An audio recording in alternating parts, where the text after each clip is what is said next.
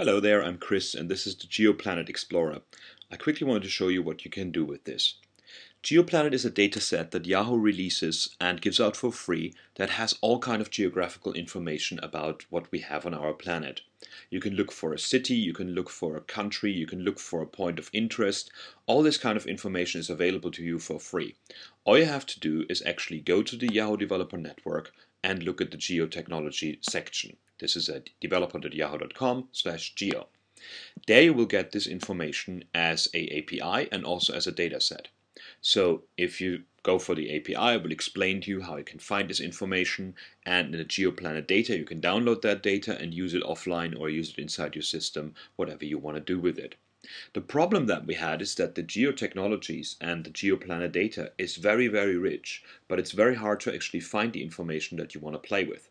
So that's why I came up with that GeoPlanet, uh, GeoPlanet Explorer. So all you actually do in this website here is that you start a location. Let's say you want to have Paris. It will find the different Parises that are available on this planet. So there's, for example, Paris in France, and there's Paris in the United States. There's more Parises in the United States. There's one in Canada, more in the United States, and so on and so forth. Let's say for now we take the French, the French one, because that's actually the best one. When you click it, you will get a map of Paris that you can use like any other map out there. You can zoom in, zoom out, and you get all this information about Paris that we have in the GeoPlanet database for you. So we know, for example, it's in the country France, it's in the administrative Ile-de-France and the department of Paris. It has the locality Paris town and it's located at these two at these two coordinates. Anytime you find a coordinate in this website, you can actually click it and it will actually refresh the, uh, the map and will get will take you there. Furthermore, you get all the information about the hierarchy of this uh, of this location that you're looking at right now. So we know, for example, that Paris, the city, is in the dep department of Paris, and it has the ancestors Paris, Ile-de-France, and France. It belongs to Paris, Europe, and so on and so forth. It has a lot of children, in this case the arrondissements, and it has neighbors and siblings. Every one of these information pieces can be expanded by you and you get the location and you get the bounding box there as well. So if you want to move to France, for example, right now, you click that and as you see, the map has been updated. If you want to go to any of the other sections, just click the name and the whole page refreshes and it will take you there. And that's about everything I wanted to show. Play with the GeoPlanet data and see how much information we have for you out there. Now, that is everything for normal people out there. Let's talk to developers. When I built this thing this morning, I actually just wanted to build it quickly and I didn't want to do much myself. That's why I used open source information that we have out there. Specifically, I used YQL to do all the data um, loading and then I used the YUI, which is the Yahoo User Interface Library, to build the interface.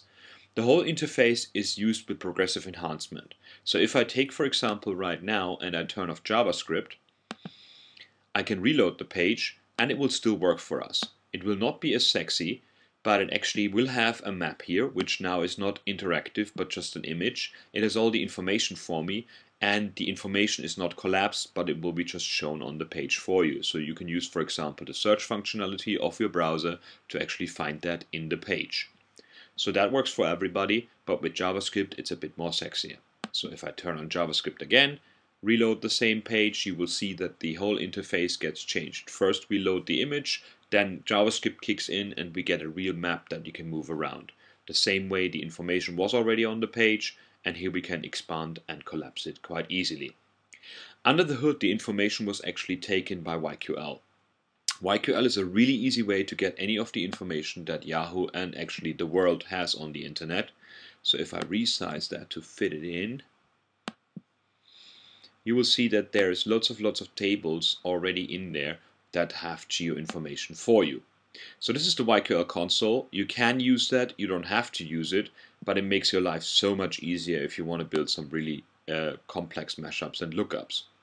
So here, down here, you will get the tables. So in this case, we have the social tables right now. But when you open the geo tables, you will find that there's placemaker, there's places, ancestors, belongs to, children, neighbors, parents, siblings, and so on and so forth. All of the information that I'm using in the Explorer. So you can say, for example, select star from geoplaces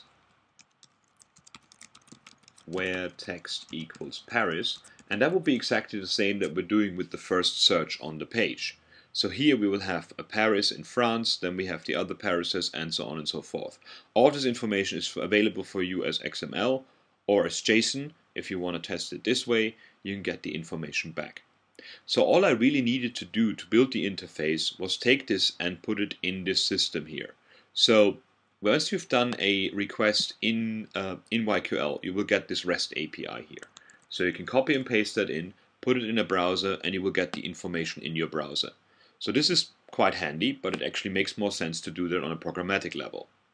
So what I've done in this case here is I just built this little GeoExplorer PHP page, which filters the input that might get in. It gets a location, which is select star from geoplaces where text is text, goes to the YQL endpoint, puts them together, URL encodes the, uh, the YQL query, and then calls a get function and returns a JSON decode.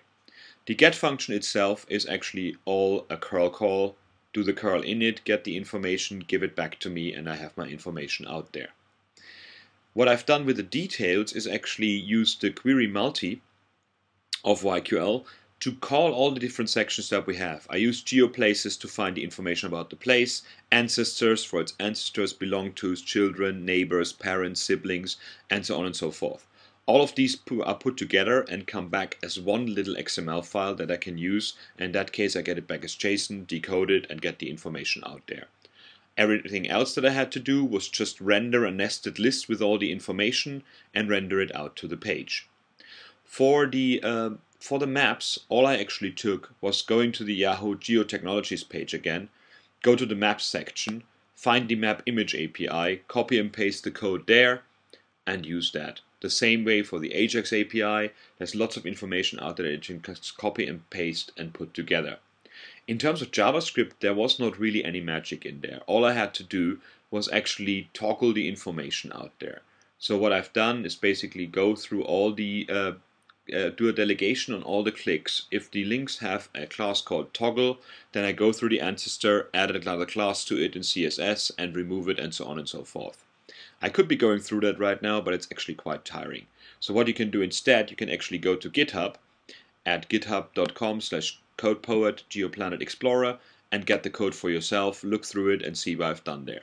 And that is all I wanted to talk about, so have fun with the GeoPlanet Explorer. Cheers.